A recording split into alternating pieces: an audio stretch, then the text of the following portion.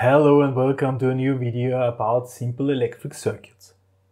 We're talking about a way to simplify things, to replace things again with something else. Last time we replaced a lot of things with a voltage source and now we're replacing a lot of things with a current source. Last time was called Thevenin theorem, this time it's Norton theorem. It is, uh, was found by Edward Norton not the actor, not not the Incredible Hulk, uh, Edward Norton.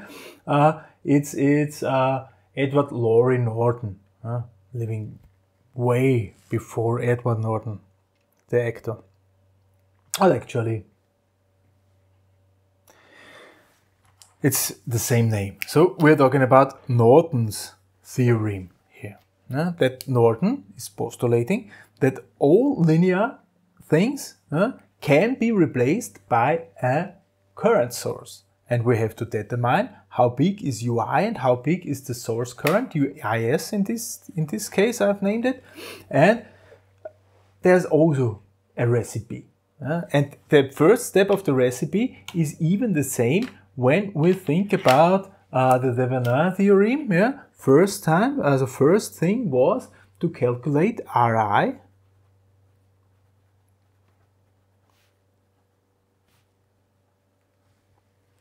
by setting all sources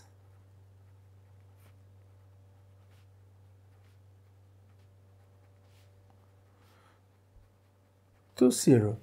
Exactly the same way, exactly the same way. So a zero voltage source, we said, is replaced. This is a zero voltage source. Here we have 100 ohms. Here we have 200 ohms.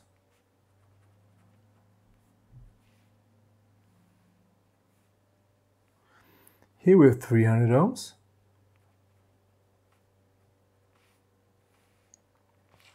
And now, those two things are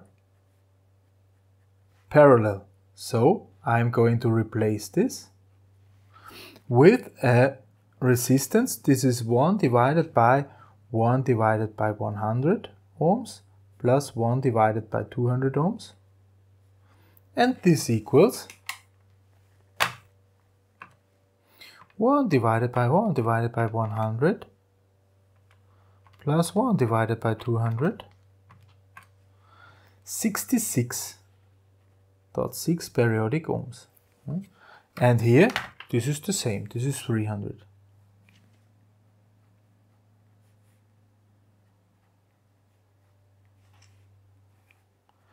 and now we have series connection so we have only one resistor and this is 300 ohms plus 66.6 periodic ohms and this is 366.6 periodic ohms and this is Ri. Here Ri already determined. Mm -hmm. So this is working exactly the same way as in the Thevenin uh, version and then Second, second point, calculate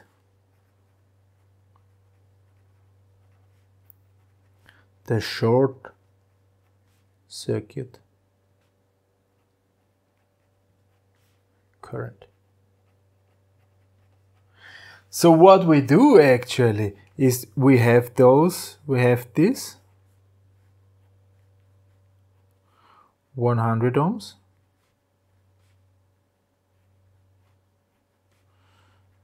200 ohms, 300 ohms. And here we whoop, short circuit.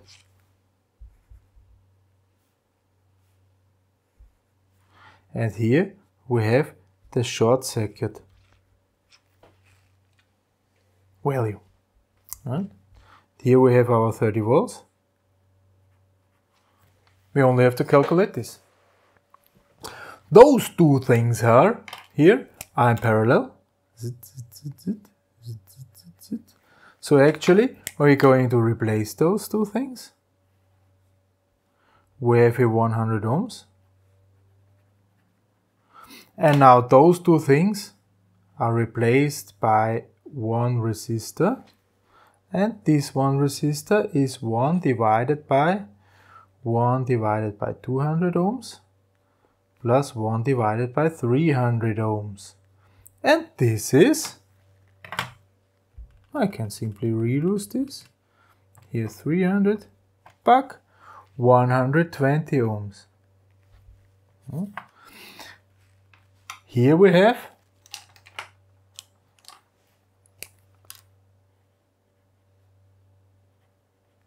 Thirty volts. Hmm. So actually we have here 30 volts and here those two are now series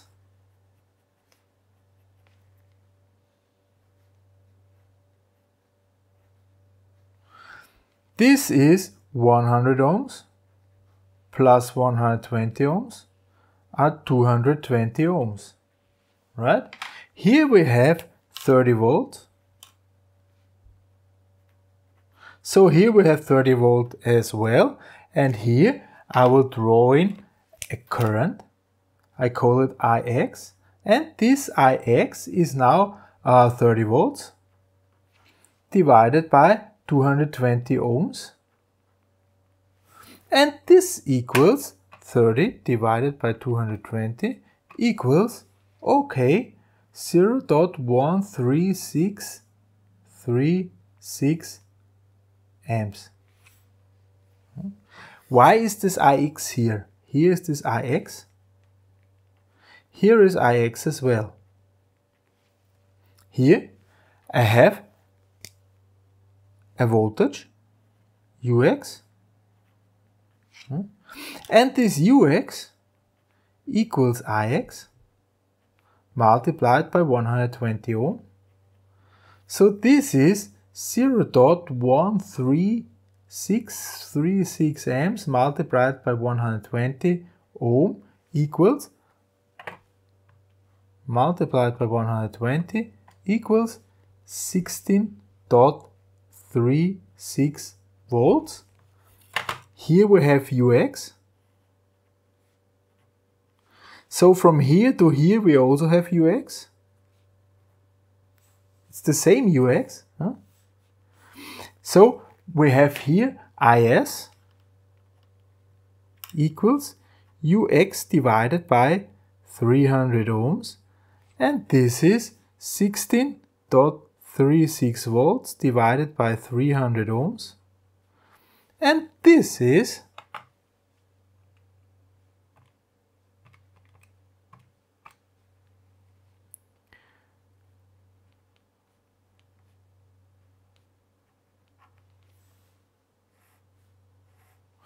55 that actually it's 55 40 55 54 divided by 0.55 you know what I'd rather say right milliamps huh? if we're using this IS and this RI it's behaving exactly like this hmm?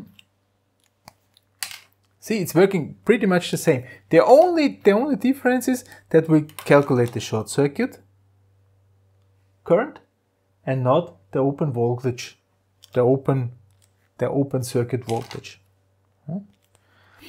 And of course, we can also transform a current source to a current source. Let's try this yeah, and follow exactly those steps again. Hmm? So first step is calculate Ri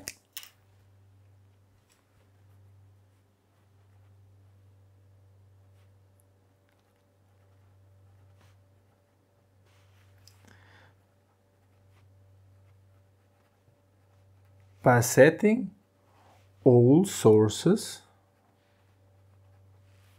to zero.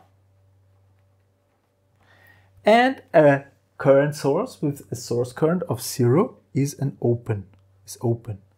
So we have here 100 ohms.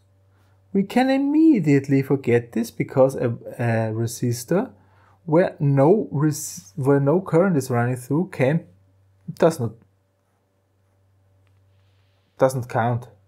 Okay.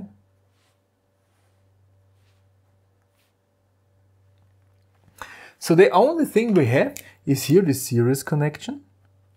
This is acting as a series connection because here there's no current. Yeah? So this is, has no effect at all, this 100 ohms.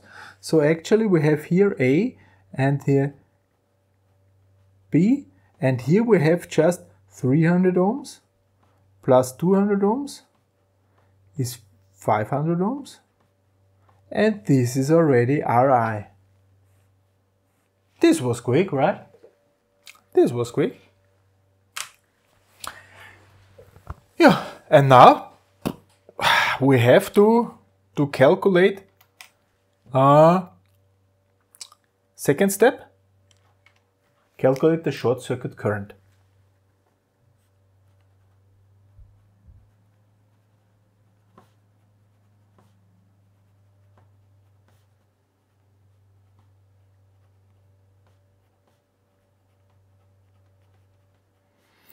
So let's see.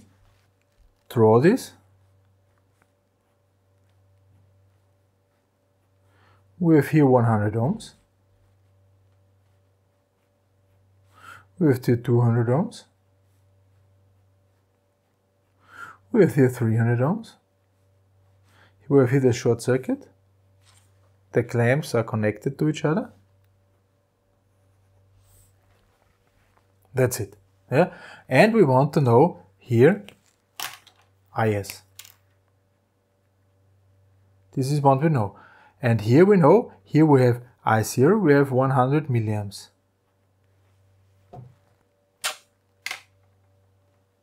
Now we can immediately calculate this here. U1. U1 is R1 multiplied by I0 yeah? and this is 100 ohms multiplied by 0.1 amps and this is 10 volts. Here we have 10 volts. Alright? Those two we also have already calculated. Huh? I'm not entirely sure why I did this, but okay we can we can calculate it. So those two, yeah, it's pretty much the same like here. Yeah, so we have here also current source. We have here our 100 ohms. We have here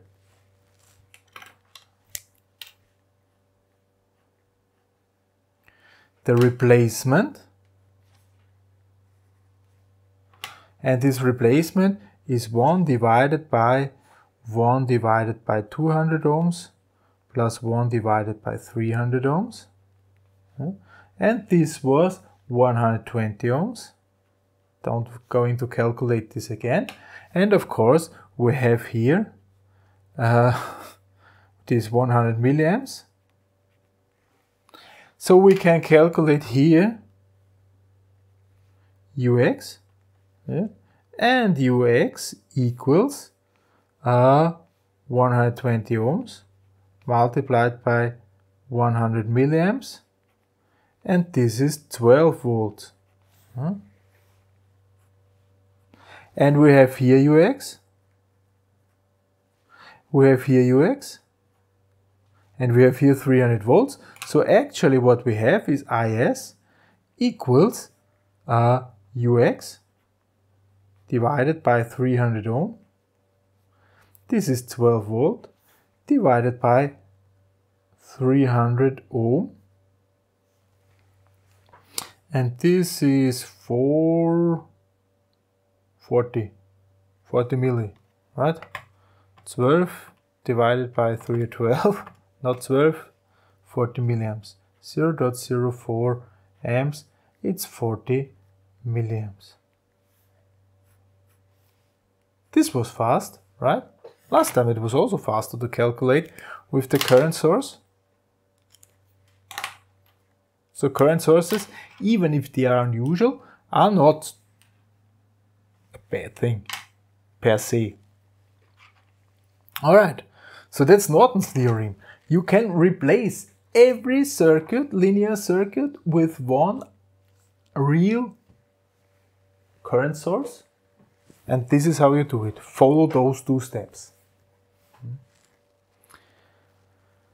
What shall happen if there are more than one source inside? Mm, two voltage sources, two current sources, or even mixed. What to do then? Then we are using a superposition thing. Hmm?